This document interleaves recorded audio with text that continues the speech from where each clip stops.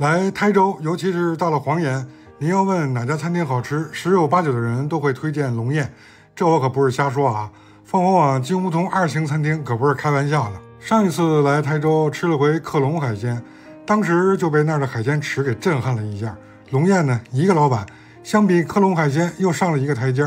您看这儿的海鲜池和点餐区，吃饭前我足足逛了半个多小时，海鲜食材真是看不过来。大厨们现场烹炒，我寻思着也偷学两手呢。今儿的第一道凉菜就很地道，凤爪四件拼鱼饼，一道菜多重味觉体验。凤爪的卤香爽嫩，鱼饼的鲜润弹牙，咱就不说了。这个四件真是一下就被征服了。所谓四件，就是鸭肠卷起、鸭心、鸭肝和鸭胗，定型后浸卤，太绝妙了。捞汁东海鳌虾，主要呢就是看食材的鲜度，虾肉去壳留肉，浇入灵魂捞汁儿，入口鲜嫩 Q 弹，绝不输挪威或者什么南极的鳌虾啊。鸡枞酱白水羊豆腐，这可把我惊艳着了。白瓷盘里是一汪黑色酱汁，整枚白水羊豆腐三分之一个身子进入鸡枞菌做的酱，置于豆腐上，煞是好看。一勺蒯下去，入口咸鲜中香嫩爽脆，鸡枞的香和酱汁的香交叉于舌尖，太绝了。本来看酱汁的颜色以为会很咸，实则是至鲜。对了，白水羊是个地名啊。手撕炝椒白这个菜，我们在活源郡的美食空间里和大家分享过了。但这个做法不是用的糟卤，是自制的白卤水，椒白脆嫩的很，回口还有一丝甘甜。辣木苗拌本地海瓜子儿，没啥说的，山海之约，妥妥的下酒菜。川味原汁木鱼，真是让我见了就走不动道的菜啊！这个也是台州的传统菜，木鱼汁和木鱼膏烧成酱汁，与整条木鱼同煮入味儿。而今天的这个呢，是在传统的基础上又加入了四川红油打底，色泽上更跳跃，入口肥厚软糯，微麻而不辣，这个改良我可以给满分。汤羹是土鸡汤着酒香旺潮，满满一盆旺潮端上来就已经咽口水了。而且这种形态的旺潮是生活于更靠近滩涂上的，海里的那种旺潮可以随波逐流，不用怎么运动，它们则不行。总之吧。这种望潮的肉质更脆嫩紧致，坠入煲了八个小时的老鸡汤中，瞬间收缩。点睛之笔是嫩韭菜和雪菜末，一口至鲜，无与伦比。蒜香干煎肥肠沙蒜，又一种沙蒜的新吃法。大蒜子与青红椒爆香，加入干煎的沙蒜和肥肠头，镬气十足。干香与干香之间，我这个不善饮酒之人都想来二两了。大汤野生黄鱼端上来。咱先不论黄鱼是不是野生啊，这种大汤的制法我最喜欢。尽管黄鱼是切段的形式，但一看切面就能感知到它的新鲜。关键是搭配的糯叽叽的手工年糕，小圆球形状，看上去就那么可爱。在鱼汤里浸煮或者直接蘸红糖吃，不同的滋味口感都是最惹人的存在。老姜咸肉焗烟仔蟹，听名字就好吃。老姜和自制的咸肉铺底，黄狼的少女蟹置于其上。所谓少女蟹啊，就是再蜕一次壳，就是真正的母蟹了。用柑橘的方式，让蟹自身的汁水和老姜与咸肉遇热形成的气体再附于蟹身，是一大口蟹肉甜润、蟹膏丰腴的迷醉。跳鱼烧金丝雪菜，看上去卖相一般，但这就是跳跳鱼的特质。它也因《舌尖上的中国》第二季的播出而更加出名，和雪菜里品种最细的金丝雪菜同烹。我觉得是一种相互的成就。香煎手钓带鱼这道菜，应该大家在很多地方都能吃得到，但能做到真正干香四溢的，真的也是不多。这个带鱼一定要用舟山的小眼带鱼，才能达到肉质更细腻的标准。黑虎虾臭豆腐是龙宴独有的一道菜，厨师也真是脑洞大开。绍兴臭豆腐裹入现包的黑虎虾仁，辅以吐司面包一起炸烹而得，清蘸辣酱，唇齿触碰间一口咬下。臭香里又有鲜滋味，趁热吃真是无敌了啊！接下来的几道蔬菜也是各自妖娆。咸鱼蒲瓜是舟山咸黄鱼和本地原蒲瓜同烧，这个是拌汤菜，咸鲜清香，尤其是咸黄鱼特殊的咸鲜味儿，蒲瓜吸附之后的味道更加曼妙。双高酱木鱼大白菜也是极妙的体验，木鱼切薄片与大白菜菜心部分的菜帮同炒，木鱼膏与虾膏的味道完全融入。没想到夏天的大白菜也能如此清甜，光这一个菜我就能下两碗大米饭。加烧猪肉瓜，呃，我也不知道为什么当地把佛手瓜叫猪肉瓜啊，而且本地的这个佛手瓜是白色的，皮更薄，水分也多。至于加烧的做法，就是在家里怎么做，这儿也就怎么做了啊，放点猪肉片，怎么炒都好吃。最后还有重头戏，肉末炊饭，您看这气势，满满的一大笼屉糯米饭。据说台州人在喜庆的日子里都会上一道炊饭，寓意着蒸蒸日上、欣欣向荣。熟糯米揉成小球状，放入碗内，浇上肉汁儿。这个肉汁儿看上去和卤肉饭的汁儿很像，但这个更清雅，汤汁儿更宽，不是收汁的那种，轻拌入口，咸鲜软糯煎啊！我忍不住又加了一勺肉汤。这个是咸吃，炊饭还有一种甜吃，就是把炊饭手握成型后，放入当地的红甘蔗糖。攥紧，一大口咬下。您看，美食家董克平老师一直说血糖高不敢吃，我看老师把整个一枚一点儿也没客气的全塞嘴里了，哈哈，真的这个多诱人呀！收尾的甜品白酒酿草户，这个我觉得应该只有在台州才能吃到吧？草户是石莲和甘草在一起，再加一些其他的食材煮制而成，用酒酿提味儿。我吃的呢有点像龟苓膏，样貌也像，也是微苦。反正当地人都说它是解暑神器，我一下全给干掉了。这餐饭吃下来感慨良多。我觉得台州的餐饮真是卧虎藏龙，期待能有更多的台州菜餐厅开到北京，开到全国各地，让我们都能就近吃到至真美味。台州的餐饮真是太卷了啊！无论街边小馆还是夜宵排档。就算像顺记浦江汇这种大店，要是没个明档点餐区，食客估计也都不买账。不过这儿的点餐区也真是敞亮气派，溜溜一层，海鲜、干货、蔬果各自琳琅，看着就想吃。上次咱不是在这儿吃了回食饼宴吗？反响还不错，很多朋友问这还有啥好吃的，这您可问对了，必须要在这儿吃顿大餐。我跟您说，人均三百出头的店，您看值不值啊？环境咱就不多聊了，您扫一眼就得。就在台州著名的网红街区嘉直老街深处。顺记浦江汇呢，从外观上看也是古香古色。至于菜式嘛，以创新新台菜闻名，也有粤菜风格的融入。可以说，台州的鲜哒哒、甜蜜蜜、糯叽叽的饮食风格，在这里被诠释得淋漓尽致。捞起虾酱海蜇，自然是借鉴了粤菜鱼生的吃法。海蜇熟制，完全规避了鱼生的风险。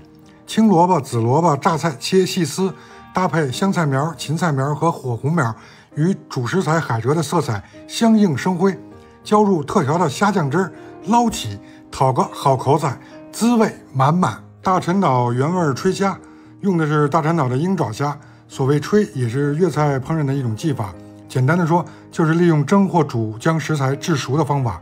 鹰爪虾鲜嫩肥美，汁汁带籽，上笼清蒸，完全经受住了对其鲜度的考验。特色炝膏蟹，首先蟹得好，做出来才能满黄且色泽橙红，吃一口是冰淇淋的口感，鲜润冰爽。蟹膏和蟹肉是那种嗖的一下划过舌尖，千般滋润的感觉。金汤果醋嫩莲子，这菜看卖相就赢了啊！湖北当季最甜美的莲子，去心后浇入特调的果醋，酸甜爽脆，清口下酒，超级的棒。其他几个菜像顺记卤鸭拼牛肉、乌鱼子、醋鱼子酿冬瓜、凉拌本地茄糊，也都各具特色。怎么讲呢？就是这种凉菜吧，你看着食材相对都比较普通，但一上桌就是有那种高级感。今天的汤羹是山泉水炖青头菌。当下正是菌菇季啊，青头菌也是最鲜美的时刻。以前呢，青头菌都是炒着吃，炖汤的形式我还是第一次尝。别说是一种沁人心脾的味觉体验，清澈的汤底自带幽香。主菜第一道冰镇旺潮，以前呢也是吃旺潮都是酸汤或者是浓汤清浊，冰镇的也是第一次试。清点酱汁，一口咬下，爆汁的感觉真的很奇妙。冷吃比热吃更清爽。也更脆嫩。大红袍鸡油蒸野生黄鱼的美好在于，大红袍花椒和鸡油相混的味型，让黄鱼的鲜嫩加倍，味道由浅入深，回味感十足。微麻更衬托出鱼肉的鲜甜，而且鸡油一点也不腻口。红烧大陈辣螺肉应该是当地著名的特色烹炒方式。大陈岛的海螺并不完全去壳，浮与蒜苗、姜蒜丁、茭白丁、干辣椒同烹，酱汁浓郁且包裹的恰到好处。牙齿与舌尖配合，嗦一口入嘴，没别的想法，赶紧再快一勺，放到了自己的餐盘。酱汁烧糖心青膏蟹，用的是黄狼的青膏蟹，和刚才的生呛膏蟹相比，虽说滋味各有千秋，但我还是更中意这个。关键是酱汁不仅浓厚丰腴，同样是收汁紧实，哪还管服务员送来的手套？徒手吃才过瘾。葱靠水库野生鲫鱼，说实话，端上来我都没看出这是啥菜。当地的整颗小葱铺满了盘面，挑开发现鲫鱼背打一字花刀炸制后，汤汁未烧，有点葱烧海参的意味。但这种小葱的香气比大葱更淡雅，香气停留的却更持久，自然收汁，妥妥的下饭菜。辣烧沙蒜牛肝菌，依然是菌菇季的美好。与著名的沙蒜爆炒这种搭配，我也是开了眼界，饱了口福。沙蒜和牛肝菌各自爽脆顺滑的口感非常特别，山海至鲜被辣椒挑起，绝妙。花郎河豚鱼干烧菜脯这道菜也是山海之约。花郎河豚干应该就是海里的河豚鱼，相对更稀有。通常我们说的河豚鱼，当地人称为乌朗。而菜脯我吃的特别像梅干菜。也是用我们北方说的雪里红腌制的。总体来讲，这道菜是属于既下酒又下饭的存在。浇汁台州海鲜烩，这菜真是妙啊！海钓岩头虎去骨取肉，配上花虾、虾仁、蛏子肉、章鱼与本地丝瓜和老人头菌一起煨煮成菜，鲜、麻、咸、润，不同食材的味觉层次相互依偎，尤其是老人头菌的鲜和海鲜的鲜。不知不觉，我们已经吃了三种菌子了啊！仙人烧姜汁猪肚绝对是台州最具特色的菜肴之一了。有人说，台州人的脂肪都是生姜铸就的，姜汁调蛋、姜炒米、姜汤面等等不一而足。尤其是这个姜汁猪肚，猪肚、猪脚、鸡爪、黄花菜与干姜片和老姜片一起同煮，那滋味，一口鲜汤辛辣中是意犹未尽的舒爽。市井会老川豆。川豆呢是当地的叫法，其实就是蚕豆。吃嫩蚕豆的时间很短，此时节做这道菜也只有老蚕豆了。但一定要用发芽的老蚕豆，按比例加适量的水、八角、辣椒增香，调味就是简单的盐、味精和糖。入高压锅，上气后继续焖一分钟，开盖，倒入煮破了控水，快速摇晃，同时撒入葱花，待蚕豆的淀粉释出到出沙的状态，装盘就齐活了，软烂入味。吃一口，绵软咸鲜，蚕豆特有的香气一直在口腔里缭绕。最后的素菜是台州蒲瓜鲜，这个蒲瓜我觉得就是我们北方的瓠子，加入咖喱、红虾仁、咸肉、鸡油菌和韭菜，用汤水加持，哇塞，真是一口鲜上天。主食是台州小吃拼盘，说是拼盘，其实是用大蒸笼上桌的啊。这种豪横感跨越了炊圆、临海扁食、方糕、灰青糕。乌饭麻糍、羊糕和包糕的奢华，每一口都是鲜哒哒、甜蜜蜜、糯叽叽的再现。我最喜欢的，哎，真的还是这个炊圆啊，一定要试一试。真是顺治普园会的这一餐吃了个肚歪。我觉得拿到北上广任何一家高端餐厅，这儿都不输啊。听服务员说他们对标的是某荣记，我觉得靠谱，这事儿能行。有日子没来鲁上鲁了啊！上次来还是刚开业不久，记得那餐饭刚吃完，他就摘得了2023年米其林指南的一星。主厨王浩全兄更是获得了当年米其林指南年轻厨师奖的殊荣。所以有朋自远方来，必须用好客山东的气势再来吃一顿。今天我们人不多，但包间的服务一样也没少啊！您看这餐布上的字儿，喜庆不？您来，您也有啊！凉菜四道，山东元素满满。虾油蒜泥低温扇贝呢，用的是长岛扇贝。低温慢煮的方式不仅能锁住扇贝的蛋白质，而且让它更加鲜甜和滑嫩。章丘葱拌白云脆耳有点意思啊，明显是卤过的猪耳朵，而且挑的都是带软骨的部分，脆口清甜，拌汁入味很深，却丝毫不见汁儿，妙。青瓜拌荣成海螺是道传统菜啊。胶东四大拌之一，温拌技法，青瓜打了花刀，这样能更好的贴附拌汁儿。炝拌潍坊萝卜皮，真是很绝啊！不是有那么句话吗？烟台苹果莱阳梨，不如潍坊的萝卜皮。鱼子酱烤鸭，山东煎饼，这种吃法应该是鲁上鲁的首创了。胃上片好的鸭肉坠入鱼子酱，置于小巧的杂粮煎饼之上。又看到熟悉的名字和褒奖的话了吧？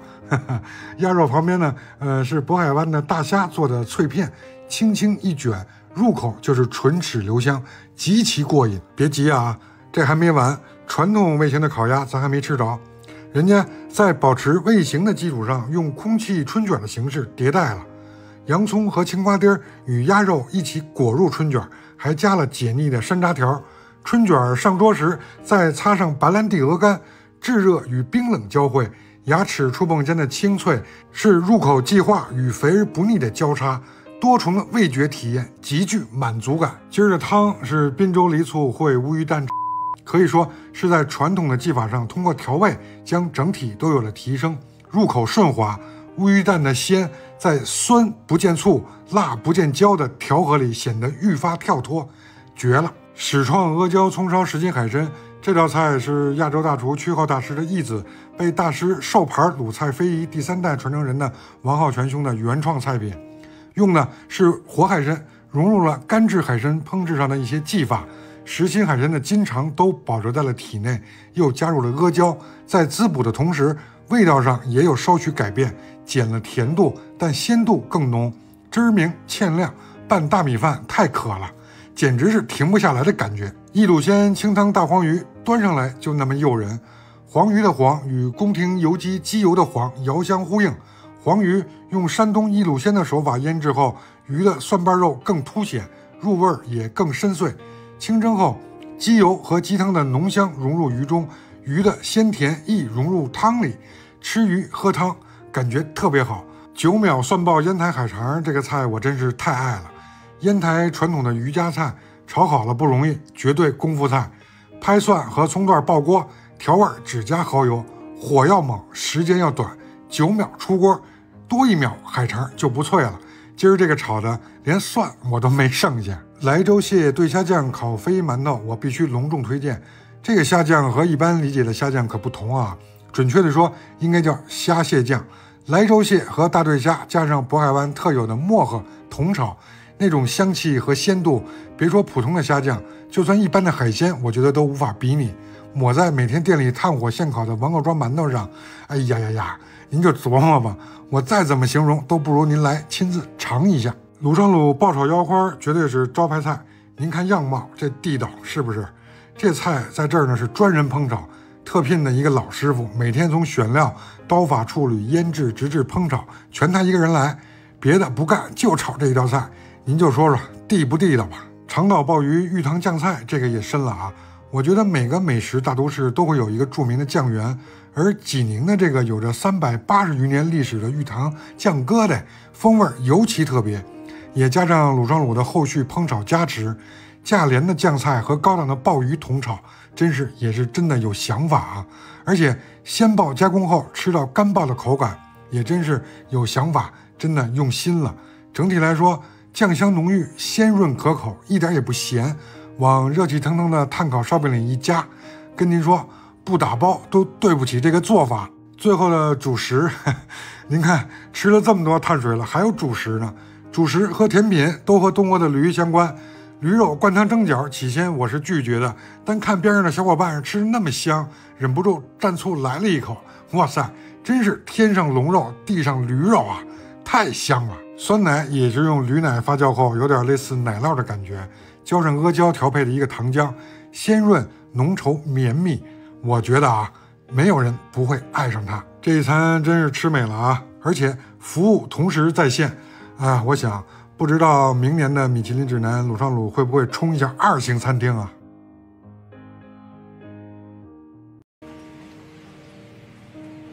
哇，这赶紧要盛米饭了。Hello，大家好，欢迎来到环聚美食空间。我们的宗旨是给你爱的人做一道爱吃的菜。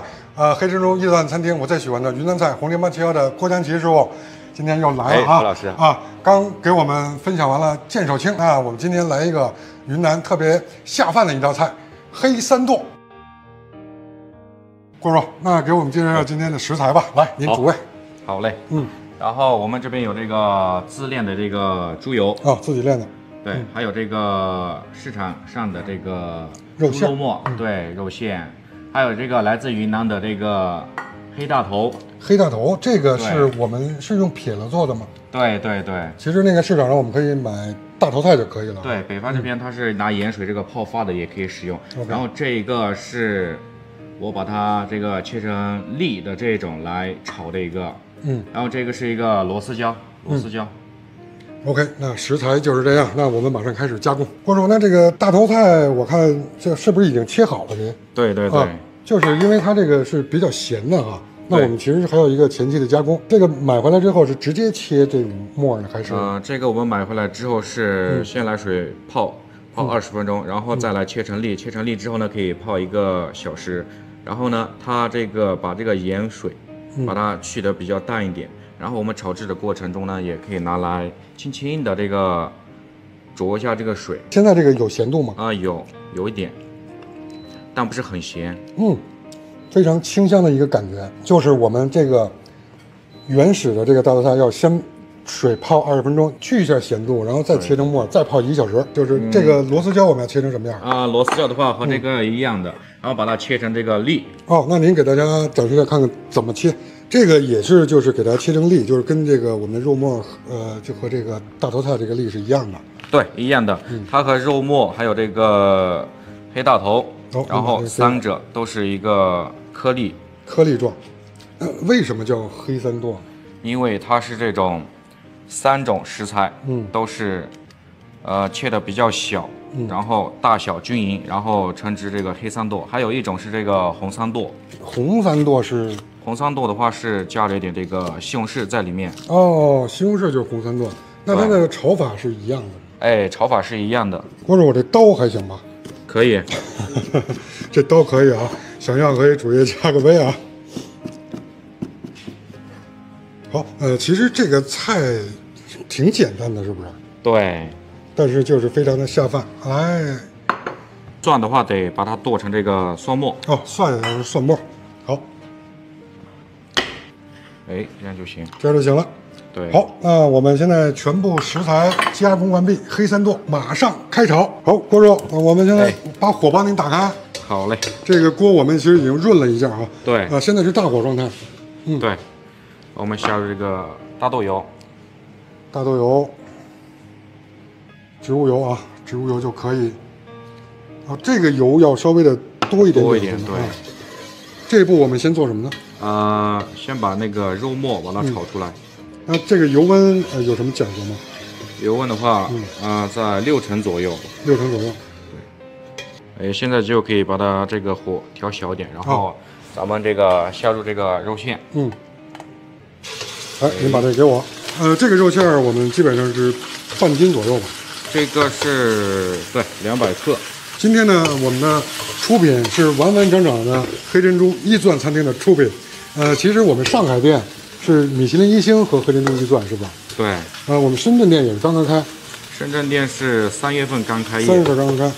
红零八七幺啊，北京、深圳、上海哎，这个肉末已经熟透了。啊，就是我们现在其实煸的时候，锅叔一直开的是小火，好，现在咱们把这个肉末嗯倒出，肉末倒出来，啊咱们现在就下入这个猪油。猪油哎，咱们开大火。大火，没有时间炼猪油的话其实可以不放。对，然后加这个啊蒜蒜末。嗯现在是现在已经是小火了。哎，好，先蒜末，对，蒜末爆香，然后这个螺螺丝丝椒椒下里头，然后咱可以稍微把这个火调大，嗯，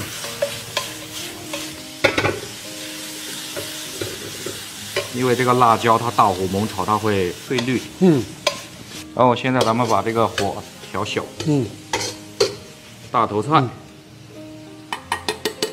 好，继续翻炒。嗯，呃，翻炒这时候还是小火吗？，对，小火。嗯，好，咱们这个下入这个肉末肉末。哎，嗯，这回可以稍微这个拌匀，嗯，拌匀的话，咱们现在开始码味。然后现在咱们把这个火调小，嗯哎，可以。这个是老抽，啊老抽，嗯对，起到一个这个上色的作用。这个要多少？哎，来一小勺来，够了吧？啊，再来一小点，哎，可以。好，那大概是我们的瓷勺的半勺左右，对，生抽来一勺，生抽一勺，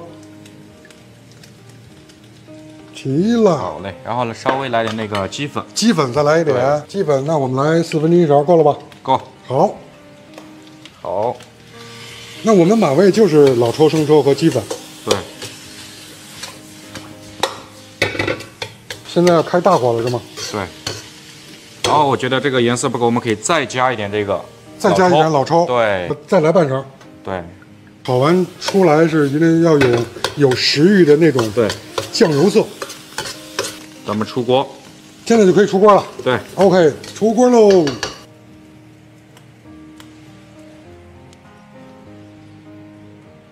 哇，这赶紧要盛米饭了。郭叔，就现在我们的这种状态，就跟我们店里的出品是不是一样？对。好，那我们今天吃的是锅边的黑珍珠餐厅的红零八七幺的黑三剁啊。呃，郭叔，我这留了一点儿，来，您还是这边。好嘞。我真的是要尝一尝啊！呃，这个黑三剁要体现什么呢？鲜润，然后辣香，是吗？对。来，我尝一下啊！哇，是不是特别鲜？特别特别的香，而且这个咸淡度刚刚好，然后这这个辣也恰到好处。那今天我们这个黑珍珠一钻餐厅，我最喜欢的云南菜红零八七幺的郭叔和我们分享的这个黑三剁。成功了，您学会了吗？学会了，别忘了给我们点个关注，一键三连，这对我们非常非常重要。郭叔，我非常喜欢吃，还有一个就是咱们店里的小锅米线。小锅米线，可不可以跟我们分享一下？可以，可以。好，那我们明天我们来做小锅米线。嗯，好。那今天就是这样，我们明天见，拜拜。明天见，拜拜。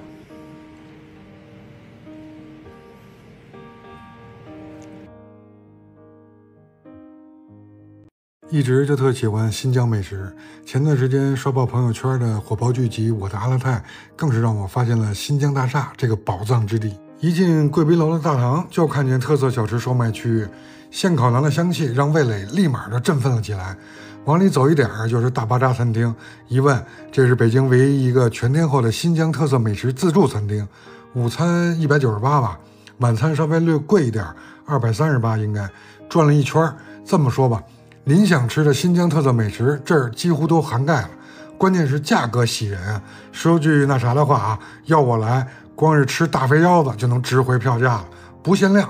大胃王可以来挑战一下。因为同行的朋友较多，自助餐厅那天几乎全满了，所以我们选择了二楼的慕士塔格餐厅。这有二十一个包间啊，主打新派精品新疆菜。进门的盐米奶茶和新疆空运制的各种时令水果摆在台面，看到这儿我就吃起了定心丸，异域风情满满，这一餐肯定错不了。摆台也很讲究，我一眼就盯上了干果六宝格，伸手一拿才感觉有点不对，这都是面艺做的啊，仿真的程度怎么讲呢？模仿刘德华的演唱比赛，刘德华勇夺亚军。几道凉菜也都十分在线，枸杞之乡博尔塔拉的鲜枸杞，脆甜多汁儿，还有亳州著名的苏炸小贡鱼，看着不起眼，但异常鲜美。樱桃奇豆泥应该是借鉴了大董樱桃鹅肝的做法，奇豆就是鹰嘴豆啊，软糯香甜，突出了地方食材的特质。醋鱼子马肉茭白也很有特色，如火腿片儿般的风干马肉与脆爽的茭白尤其般配。青衣恰马骨咸鲜脆爽，恰马骨和我们内地的大头菜有点类似，在当地呢，据说和羊肉一起炖也特别美味。大红袍白卤后的乳鸽，麻香与咸鲜之间是一种停不下口的悠长滋味。沙葱羊肚菌真是太好吃了，除了食材加分之外，凉拌汁儿很是绝妙。特别要说一下这个特色三凉，据说没有哪个新疆人是不爱的。凉皮儿、凉粉和凉面的组合真是绝配，酱汁一浇。酸辣爽口开胃，宴席离不开仪式感，尤其是在新疆，游龙剑一米烤肉上来，真是气势满满。